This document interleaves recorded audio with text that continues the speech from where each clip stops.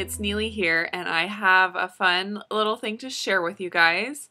I got a new gadget that I wanted to tell you guys about. What it is, is this Body Media Fit armband and it is a really cool little device. When it came in the mail the other day, I took a quick video of the package so that I could show you guys um, before I ripped into it because I was so excited to um, get it, get out my new gadget and play with it.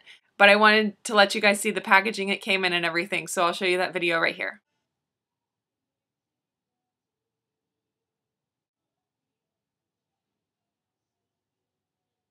It's a calorie counter and it tracks all kinds of other things that your body does day to day. It's similar to a Fitbit that a lot of people have been talking about, but um, apparently it's a lot more accurate because it actually has these sensors on the back and um, it goes on your arm and it measures lots of stuff. Um, it measures motion, heat flux, skin temperature, and galvanic skin re response and apparently it's very very accurate. There've been um, the studies done to show that um, it gives accurate information.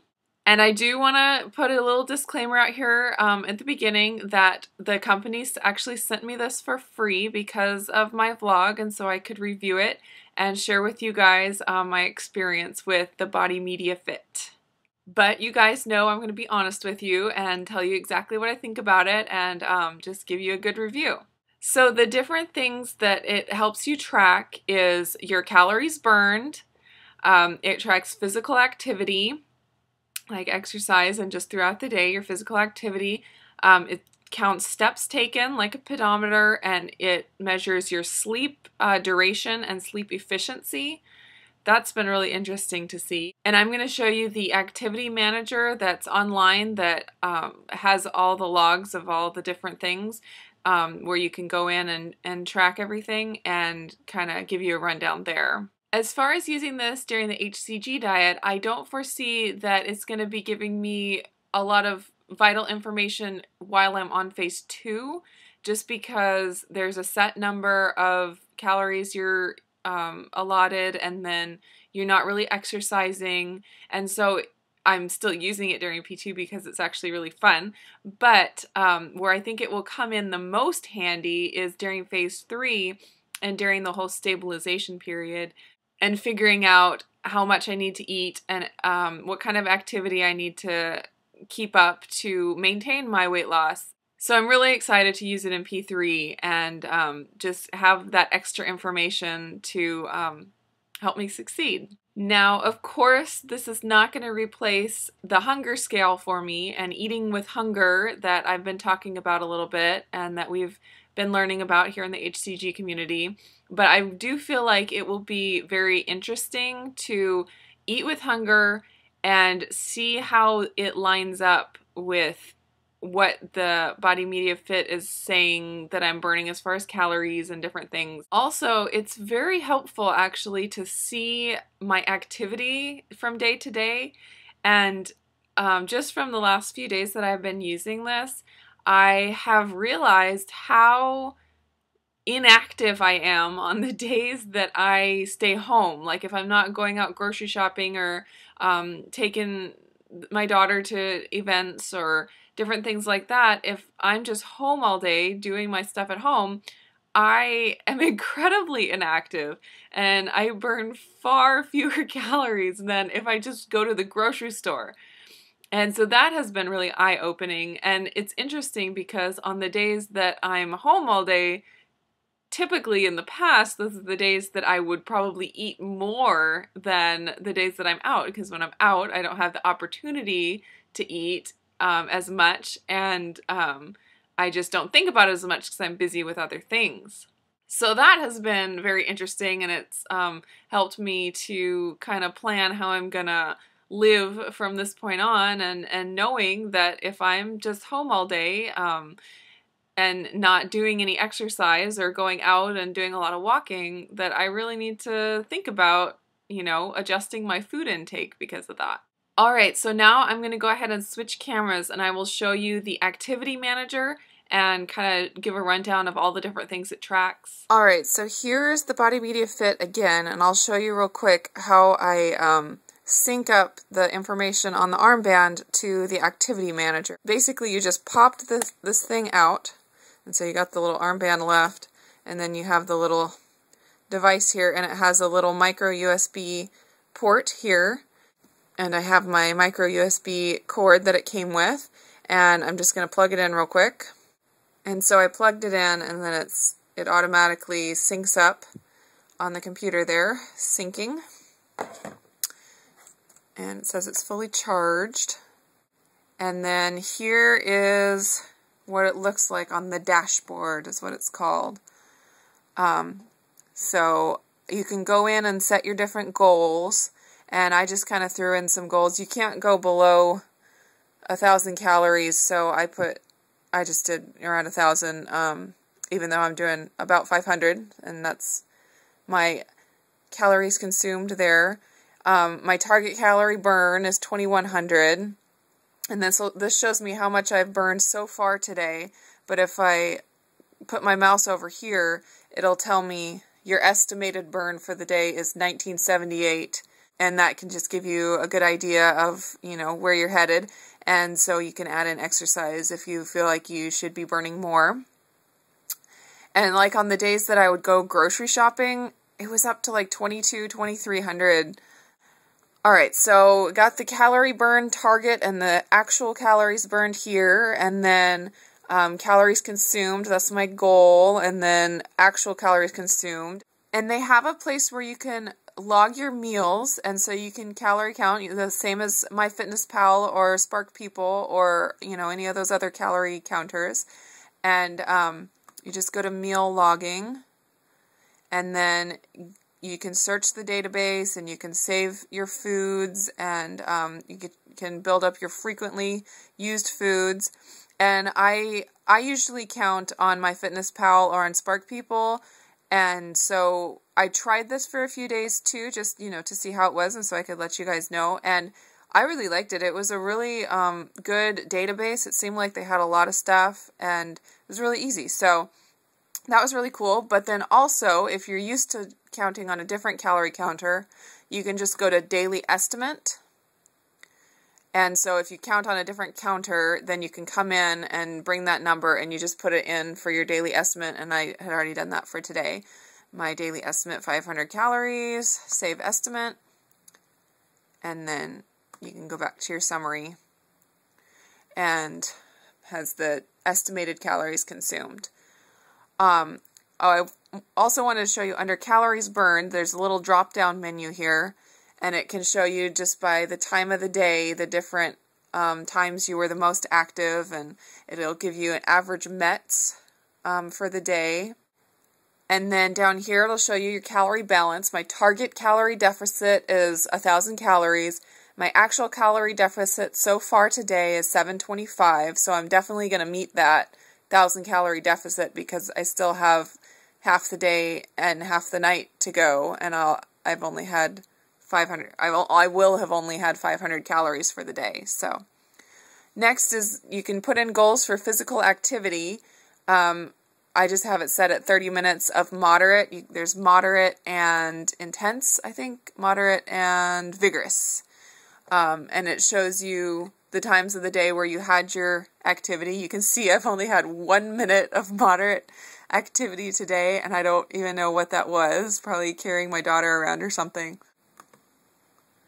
And then down here it has steps taken, um, and I have it set on a very low goal of 5,000 steps, but it's 4.15 p.m. and I've only gone 1,300 uh, steps. And um, so you can see this is one of the days where I'm just home most of the day, and I really need to make sure I at least get a walk in this evening or something because that's very, very inactive.